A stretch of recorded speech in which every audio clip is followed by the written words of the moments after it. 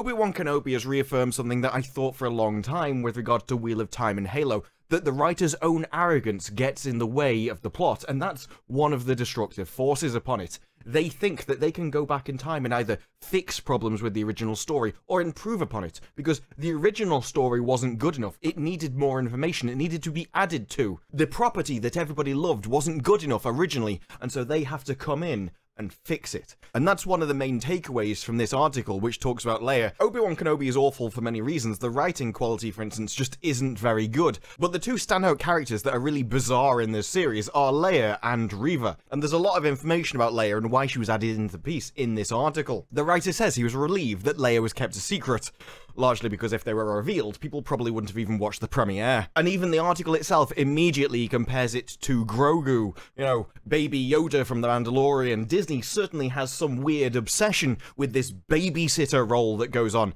I think it just gives them a very easy way of constructing a story, which doesn't really have much of a story. It's just, hi, here's something that needs looking after, now look after it. Oh, you're really supposed to just care about this character because it's a child. We're not going to give you any reason to care about them, we're just going to assume that you should. Now, for me, Obi-Wan Kenobi's story should obviously have been about him protecting Luke. He should have done it from the shadows. Luke never should have come into contact with him. But something could have gone on that would have threatened Luke, and Obi-Wan Kenobi sorted it out from the shadows. I think that could have been an interesting six-episode miniseries. It's not a multi-series piece, but not a lot of things happened in this series. But this story wasn't written from what should happen. They didn't care about fitting into canon they cared about putting their characters into Obi-Wan Kenobi's story. That's how you end up with Leia and Reva. That's why they were relieved that it was kept a secret. Because everybody knows it should have been about Luke, but that's not the story they wanted to tell. For Disney, crowbarring Leia in there by any way possible was all the more important. That's how we get post hoc rationalizations about how no, Leia really contributed to the story. Harold wholeheartedly believes that Leia's plea for help makes all the more sense. I mean, I'm sure he does, but unfortunately for him, reality doesn't care about what he believes he can say. It answers the question of why him. So, help me, Obi-Wan Kenobi. You're my only hope feels less arbitrary as a choice and a decision now because of the depth of history that they have together. Oh yeah, that depth of history. That must be the depth of history which has sites just scrambling to even try and explain how any of this is physically possible. CBR being one of the people to report the reason that the reason why Leia doesn't remember him because she clearly doesn't know who he is in those movies, despite what Harold believes, is that obviously Obi-Wan Kenobi must have wiped her entire mind, because everybody knows that he doesn't know her in the original trilogy, so you're going to have to do something. That's also what I thought they were going to do, because there could be no other canonical reason for it. And they're so busy saying they would never break canon. Canon is everything that surely they're going to wipe her mind. They would have to if they cared, but this interview just proves that they don't. He genuinely thinks, wholeheartedly believes, that this helped reinforce and better articulate a little piece of the jigsaw that's already in place. That's where the arrogance begins to appear to him. Star Wars isn't a holistic piece. It doesn't tell a complete story. No, it's simply a jigsaw there's actually holes all over it, which he thinks I can go in here and fill it with something, change it. I could put myself in the jigsaw and improve it, reinforce it, better articulate it than the original work. You know that work. The work which everybody enjoys. I know that this is one of the biggest IPs in all of history, but don't you know, this writer can obviously improve upon it. And he takes a very interesting piece when it comes to not breaking canon because this isn't an idea of should this series be created? Is there a reason for this series to be created? No, this is simply about is there any reason why we shouldn't do it? As proven by their part 3, where he talks about Darth Vader and Obi-Wan fighting, where he says there's no line in A New Hope that said we couldn't. We weren't prevented by doing it, no one forced me not to write it, and so I wanted to do it. Why? Because it allows him to put himself in Star Wars, in the prequels, lead up to those moments, use characters that people love to make them actually watch a piece of his work that they wouldn't have cared about if he'd just written something on his own. He says there's nothing that I feel we've violated at all. If anything, We've informed those scenes so that some of the choices we've taken for granted actually make more sense. Oh, he's out here improving it. Obi-Wan Kenobi is just enhancing the series. Despite the fact that everyone was very comfortable before and didn't even need to see this, Now, don't worry, he's the one that's actually come in and made all of Star Wars make sense. I hope you're very grateful for it. I mean, so many fans have come out and completely destroyed all of the reasons that he gives for it. In fact, even CBR's coming out and saying that Obi-Wan Kenobi has quite a few plot holes. But no, don't worry, my dude, you're definitely improving something that no one's had problems with for decades. And that arrogance is one of the reasons why prequels are so commonplace right now. It allows writers to get involved in a piece of work which they couldn't create themselves, but get reflected glory from it, and then take credit from it. They put their work ahead of the piece that people actually love, not just to get a free audience, but also because it makes them inseparable from the later parts of the work. They can look at the original trilogy and think, yeah, I helped build that. This is why you can feel a sense of smugness coming from a lot of the lines, it was also very present in Wheel of Time and Halo, pieces of work which were determined to change the original source material, completely annihilate it. But they were so proud of what they replaced it with, and yet all of these pieces of work feel like they're being written for children. And I used to think that was just their target audience, but no, they're definitely aimed at adults. So it's not surprising then when he actually comes out and says this. He says, I hate to be reductive and say it's like playing with Star Wars figures all over again, but it genuinely feels like that. You get pleasure from it. Good writing is done from the point of view as I've got a problem, I've got characters, how would those characters solve that problem? Bad writing is done by the fact that I am controlling the characters, they are me, what can I make them do? This is how you end up with characters that don't actually obey their own characters at all. This is how Obi-Wan can just be destroyed, be a sad guy out in the desert some way, can't even be bothered to train in the Force, so that his only life mission, protecting Luke, is physically impossible for him to do. This is how in the last episode, Darth Vader is suddenly just a benevolent person who's always giving up everyone, and despite the fact that he clearly decided he was going to annihilate Reva, it decided, oh no, you're actually amazing, I should just forgive you and let you lead everything, because, you know, you're probably better than me or something. None of this was in character, because it wasn't the characters acting within their personalities. It was the writer playing with Star Wars figures. And now his entire answer about Vader and Obi-Wan fighting doesn't make sense, and Honestly, it makes me wonder if we're talking about the same series, because he says that that scene was all about Vader and Anakin under it all, the range and the anger, and articulating that within the sequence. What? The fight was a farce, Obi-Wan was trash, and Vader held back. Where was his range and anger? Where was any of it? He says it's not slug, slug, slug. No, there was literally none of that. It was about finding a moment to understand the depth of the relationship between the two of them. Where exactly did they find that depth? Was it where he was running away like something out of a Benny Hill sketch or a Carry On movie? As I've said before, Obi-Wan Kenobi is a parody, and I have to wonder why. Because the writer is acting as if this is a really serious piece of work. This is an incredible, deep, and complicated piece. So I have to ask, why does it come across like a farce written for two-year-olds? Is it the writer's fault and his inability to actually make anything good? Or is it Kathleen Kennedy's? When you came on board, a batch of scripts were already written. Lucasfilm President Kathleen Kennedy recently described them as too bleak. While there are still plenty of dark elements in these three episodes, you're gonna have to show me those, I'm afraid, was adding some levity one of the tasks you were assigned. And he says, I wasn't given a mandate when I first came in. In Star Wars, there's always a touch of lightness here and there. You see that with Leia. You see that with the tonal balance. George Lucas has said that Star Wars is for kids. And it is fortuitous that he thinks it's for kids, because he couldn't write a plot that could challenge a three-year-old. But on the other hand, what intrigued me was the weight knowing there was there. Both sides were interesting to me. You could have lightness and still carry the weight of drama. And I've said I thought Obi-Wan felt like a parody. When he's running away from Vader, that was a comedy scene. That was meant to humiliate Ewan McGregor and Obi-Wan Kenobi the escape in the last episode, walking with multiple people under a trench coat was intended to humiliate Star Wars and the audience. That was so pathetic he couldn't have even entertained a two-year-old.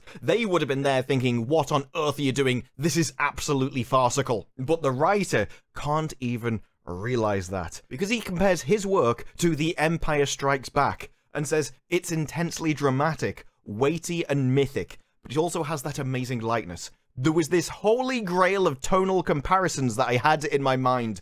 He had the holy grail in his mind when he was writing Obi-Wan Kenobi. Dude, if you think this is the Holy Grail, you've drank from the wrong cup. We're all rapidly aging and are due to die in about 15 seconds. Says, is Leia's brand of sass a pleasure to write as well? I don't care if it's a pleasure to write, it's a horror to witness. He says it's fun to write, and but a little goes a long way. Yes, she should have been maybe in about five seconds in a flashback, and then never in the rest of the series. But you tried to make it seem like she's spirited, and not just grown up writing for a kid. Don't worry, not a single person on Earth will ever, ever insinuate that you write like a grown up. She's pretty sassy, and Carrie Fisher's incarnation of the character does a very good job of showing that she's no one to be trifled with. Yes, and she's an adult, not a 10 year old who can barely run. Back to CBR, and they're saying Obi Wan Kenobi proves that Leia was always ready to lead the rebellion. It's definitively proven that Leia was not only a great leader, but she was born to lead the Rebel Alliance. They go back to the past so that they can change the future. Something which was never proven. Something which actually allowed people to grow into a character. No, no, no, no, no, no, no.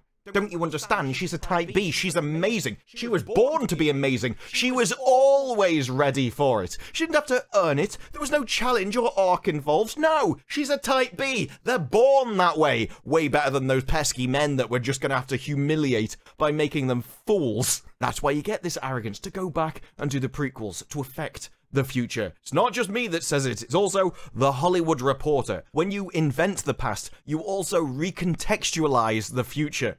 How did you reconcile Obi-Wan and Leia's relationship? Nothing in this series was about fitting in within the canon that was already there. To spot a gap and just think, okay, yeah, we'll we'll make a story there, but it's not going to affect the greater piece. We're not going to try and ruin that or change it. No, the aim here is to recontextualize it, take something which people already love and twist it so it fits what we want it to fit in. That's why, if anyone thinks he's going to wipe a mind, this answer just basically says he isn't. He thinks it fits. And so all this talk about how we're never going to break canon is completely annihilated because he doesn't want to. He wants to recontextualize the future. He wants to change how you think about Star Wars. So if you watch all of the stories in a row, you'd be like, oh, of course she's going to Obi-Wan, even though she was never supposed to know who he was. This recontextualization isn't just to boost up the characters that they love pushing, like Leia and Reva. No, it's also to drag down all of those pesky little people that they really hate over at Disney. You know, the, the male Jedi, for instance.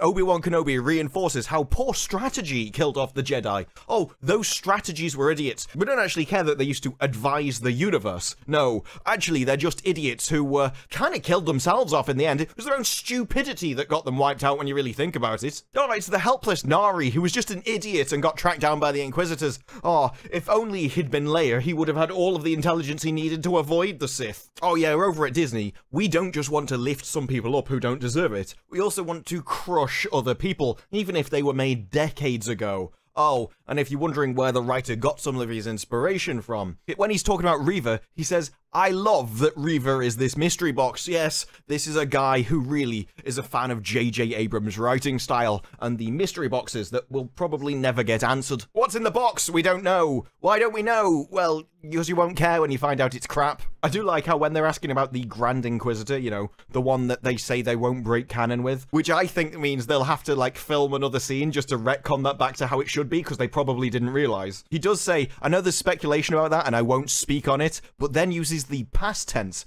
of I love what he did with that character. It's the difference between someone telling to me they like my videos or saying they liked my videos. The latter comes with a certain implication, and that is where he says, there's no line in New Hope that said we couldn't. There's nothing wrong with uncovering the past and its truth and storytelling.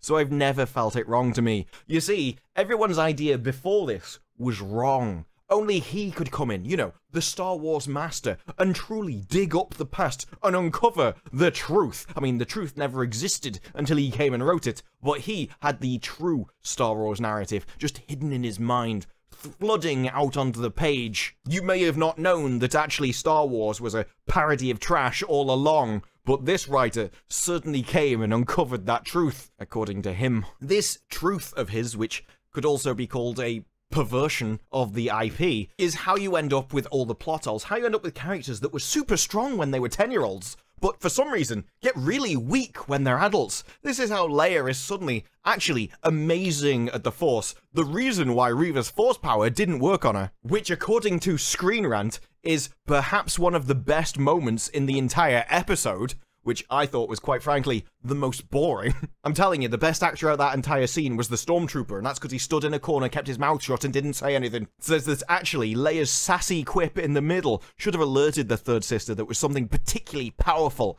about Leia. And what is it? What is that secret power which Leia has? It's actually that she's incredibly strong willed as a young princess, and she can just block Reva's attempt to get inside her mind because she's also inherently strong in the Force. You know, that inherent strong in the Force, the thing which didn't even really rear its head in the original trilogy. No, what we have in Obi Wan Kenobi, despite all of their cries about how canon is everything and they'd never break it, and their arrogant pontificating about how they had the Holy Grail in their mind as they wrote it, what we end up with is simply somebody who thinks Star Wars is for kids and who writes at a level beneath that. An entire series without an actual story to it. Leia's been kidnapped. Oh, hey, are we gonna move on at any point? We've got dialogue with lines that don't even have anything to do with the line that came before. And we've got stupid, ridiculous, farcical parody set pieces in it, which make Obi-Wan look more like an episode of Spaceballs than Star Wars. Not only is Obi-Wan Kenobi being humiliated running away from Vader,